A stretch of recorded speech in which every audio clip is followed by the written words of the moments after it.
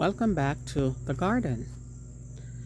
Today is Saturday, October 5th, and I am outside doing some cleanup and decided that I'm gonna go ahead and uh, show you all what's going on in the garden in early October. Now, it's a nice day out, and a lot of the neighbors are taking the opportunity to do some yard cleanup as well. So you'll probably hear some lawnmower going. Hopefully that does not disturb you too much. So let's start over here in the round bed. In this bed I have a couple of actually three cayenne pepper plants. And look at that. Here in October they're still flowering to produce more peppers. I also have two Anaheim pepper plants in this bed. Here's one of the plant with a couple of fruits on it that is uh, blushing. I have in a pot down here. I haven't shown this in a while. This is my pot with, um, what is this? Oh, here it is. This is my pot with the lemon verbena. I'm going to try to go ahead and plant it out in the landscape in some in one of the beds later on in the fall so that it it's a perennial so it will definitely come back next year. Also I have the pumpkin, the calabaza pumpkin. Uh, there are five fruits on the vine and as I've stated in previous videos I am not certain that any of them will actually come to maturity before my first frost date which is October 17th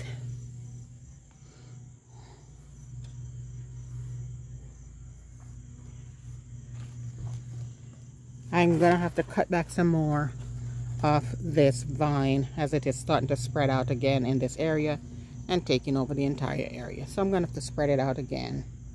Now in this pepper bed right here, I have a number of plants. I am going to go over the vari varieties that I have. I do have a couple of California Wonder Bell on the other side, but right here on this side, I have the Giant Marconi, a couple of plants, a couple of fruiting, fruits that are blushing on these giant Marconi. Here's one. Ooh, something got it. Look at that. You can't leave stuff on the uh, plant to ripen because something else is going to get to it before you can.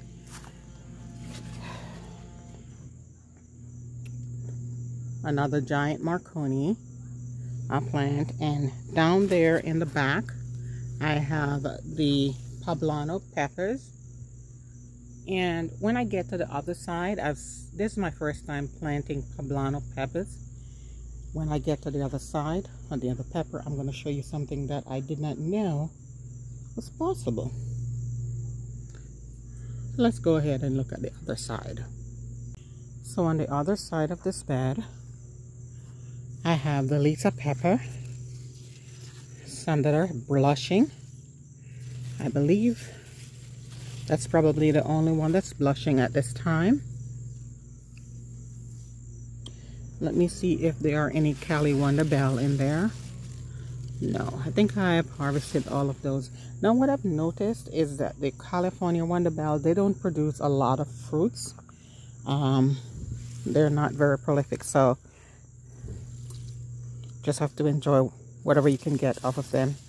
Now this is the Rowena pepper. Let's take a look at that. That's a Rowena. And I do see one in here. See one in here that's blushing. This one is blushing. And then I see one that's ripened in here, if I can get to it. Actually, I see a couple in here. That's ripening. Here's one of the Rowena. That's ripened. I'm going to go ahead and pick it before some critter come out and get it. Isn't that pretty? Look how beautiful that is. Look at that. Look how beautiful. This is the Rowena pepper.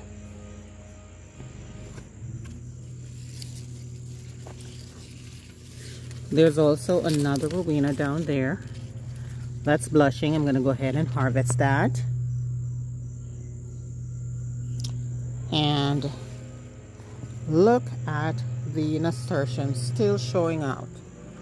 Look at that nasturtium in this pot. Still showing out. It's beautiful. I see I have another pepper in there. That is probably another giant Marconi that's uh, ready to be harvested. And I'm to make sure that I get it and not some critter. Now this is what I wanted to show on the poblano peppers.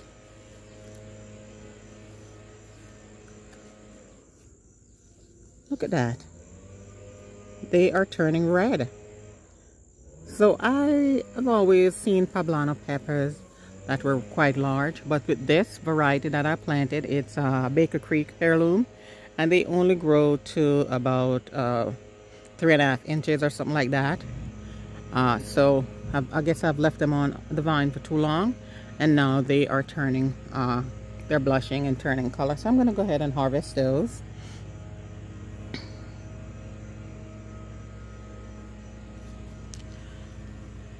I have taken out most of the tomato plants. I just have a few remnants left to be taken out. And down here, my little bush bean is uh, flowering. So I am looking forward to getting some uh, bush bean before the frost comes. These are California Wonder Bell peppers in this bed, uh, three plants.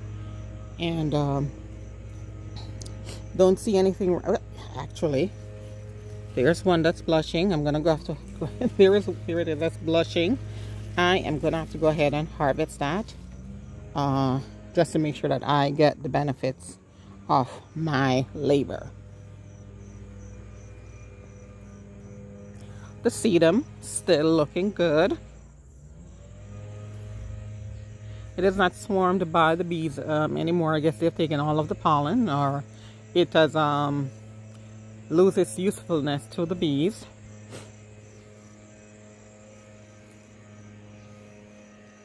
I am going to leave the basil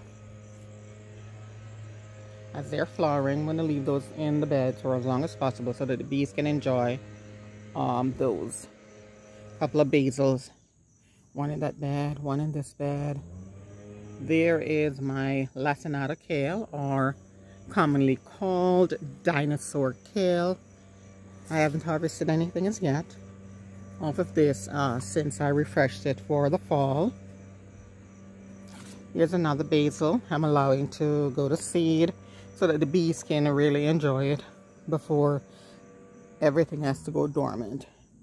The only tomato that I have left in place uh, for the moment, even though it's very diseased, is the grape, the Valentine grape tomato. Still producing, still producing. So I've left it there. And we will continue to uh, harvest until the frost comes. This is my fennel. I only planted one fennel this, this year, my first time planting fennel. And I am going to hopefully get this all these seeds once they dry. I am going to harvest them so that I can have it to use in my kitchen. When I make uh, cowboy candy, uh, I like to crush the fennel seed and use that as one of the spices that goes into um, the brine. So this is the fennel.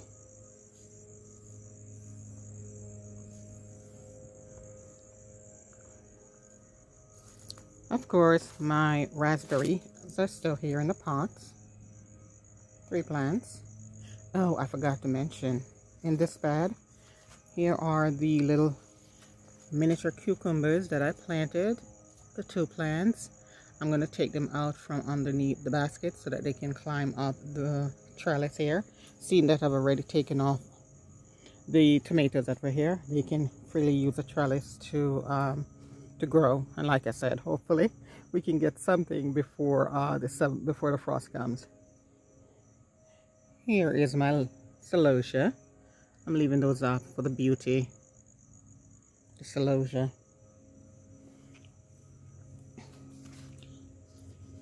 Jalapeno.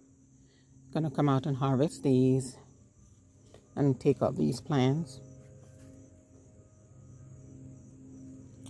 Over in this bed, I have a couple of um, Ajvarski peppers that are still producing as well as the of course the celosia it's just taking over everything but I don't mind as well as I have the jalapeno megatron. Look at this. Look how beautiful these are. I am not sure I'm going to make any more cowboy candy at the moment. I did see and some other um, options when I was watching a couple of videos um, how to use the jalapeno. So that's probably going to explore those um, options. Here is the celosia of course the scotch bonnets. Not sure you can see that well but the scotch bonnet is still here. With uh, already harvested all of the ones were, that were um, ready that were ripened. We have already harvested uh, most of those all of those actually.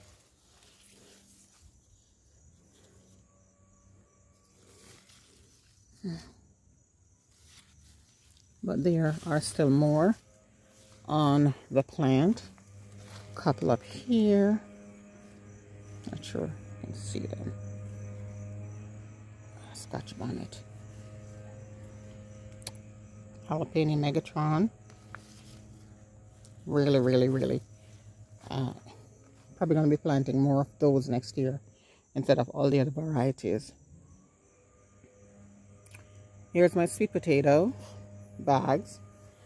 I harvested one of the bags and I was hoping to have harvested these already, but I think we'll get these done tomorrow if it does not rain or wait until next weekend uh, to get these sweet potato out of the bags. So like I said, I harvested one of the bags, this one, and it was full with grubs. Oh my word. There were so many grubs in the bag. You know, I had seen the squirrels digging into the bags and I did not know why they were digging in. But once I harvested the bag, I know I, I, I um come to the realization that they were digging for those grubs that were in the bags. So I have um, taken out the pepper plants that were in these pots. And also the uh, zinnias that were here. So these are cleaned out. I'm just going to cover them. once it gets closer to the frost. Here is the one pot that I did not clean out as yet. Still has some peppers that I am hoping will ripen a little bit or start blushing before I harvest them.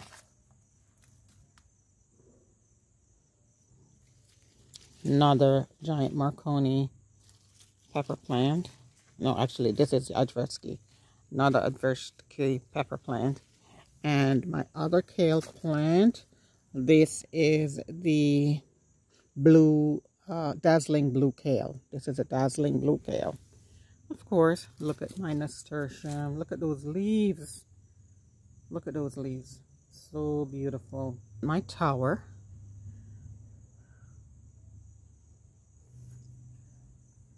the chocolate mint is still showing out as well still there I've cut back the oregano.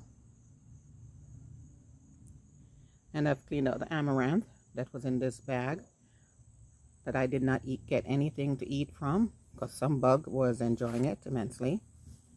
Here's my scallion pot.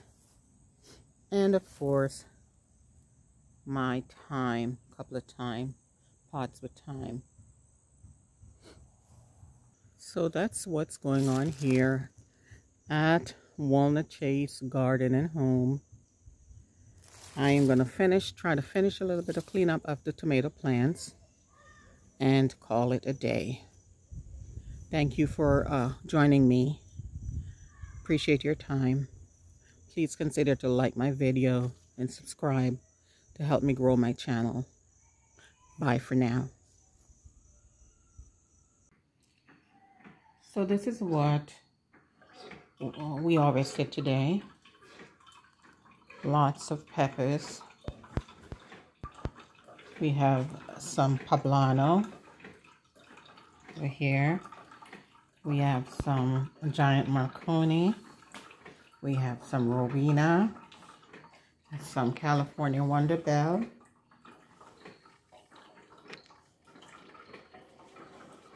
Some jalapeno. Look at this. The jalapeno Megatron. Some tomatoes. This is the final harvest for the tomatoes. So, um, that's it. We also have, um, so everything was picked. Everything that's green was picked.